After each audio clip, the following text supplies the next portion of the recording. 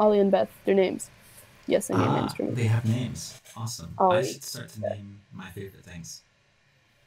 Do please do. It's absolutely amazing. Would you like to see something cool? So I have here two brush pens, um, and I have here some paper.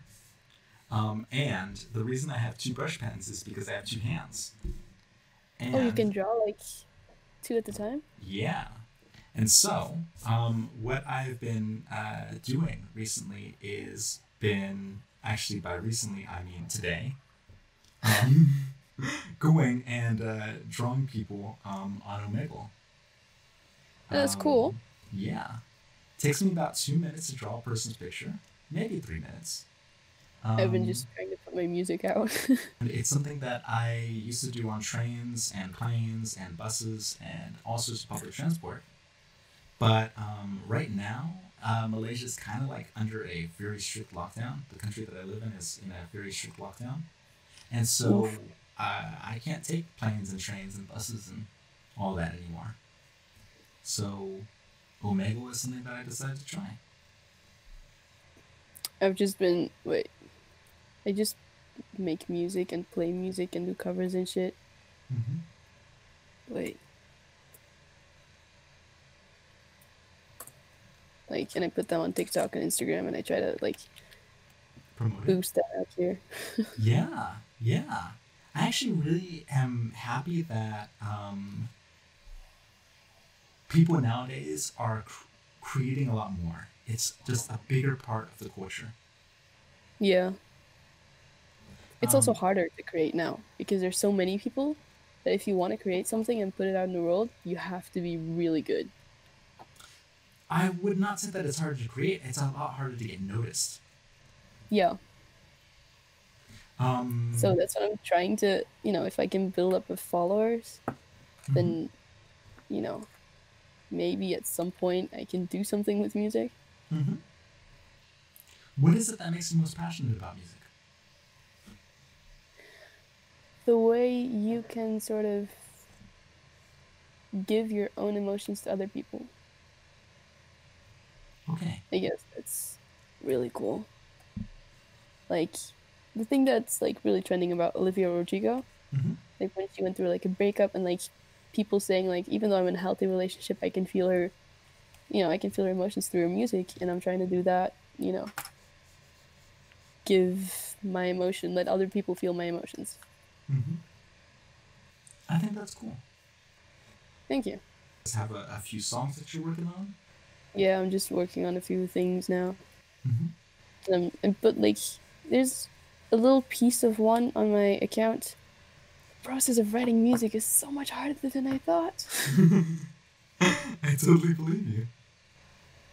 It's not just because like either I have a melody, and then I can't like get my lyrics right, or I have a lyric like of lyrics, and I have to squeeze those into a melody, and I have.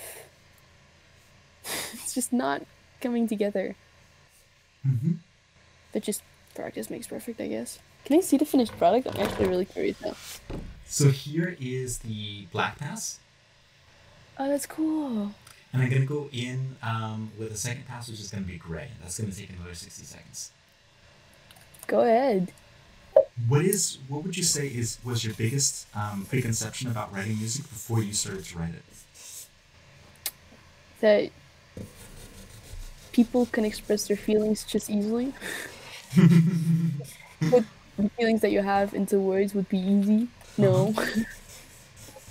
like, yeah, sure. You see how other people like write it and they describe it in a certain way. Like, yeah, I could come up with that. No.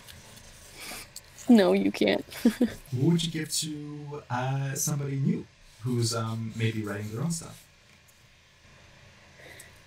Um, go in it blindly. If that that may sound weird, but go blindly.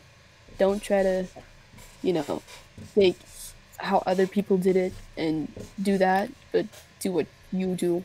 Do what how you want to make music. Mhm. Don't go like, oh my god, Justin Bieber did it like this. I'm gonna do it like that too. No. Don't look at other people. Look at yourself. How do you feel? How do you want to make it? What do you feel about fame? I think it's double.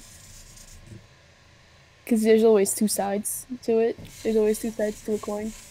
Mm-hmm. On one side, it's it's great that you get recognized for the stuff that you do, that you get to meet a shit ton of cool people, that you get to be there and that people know who you are. And on the other side, there's expectations, there's pressure, there's you know maybe some hate from some sides that's really not welcome. because I've watched like a couple documentaries of like how people enter the world of fame and stuff, Mm-hmm. and they're like leading up to it. There's a lot of pressure before you're famous to you know become that person that people want to see, but then after you're like debuted and shit, Mm-hmm. then there's more pressure to keep being new, pe- keep being you know inventive, keep being new, new and new shit and stuff. So I think there's. Oh, that's so cool. Oh, that's actually cool. If you don't mind, I would actually like to be able to cut together like the, the, the portion of this that where I was drawing you into a YouTube video. Oh, that's actually really cool. I didn't know. Cool. Sure, thank you. Um, the username right there, like I'm Halo X, Okay. is on TikTok as well as Instagram. It's the same name. okay. Very cool. Because like Instagram Reels only has like 30 seconds, which is kind of short to put like a whole part. It's like the full version is always on TikTok. Okay. Cool. Thanks, you're a great guy. Thank you. Nice meeting you.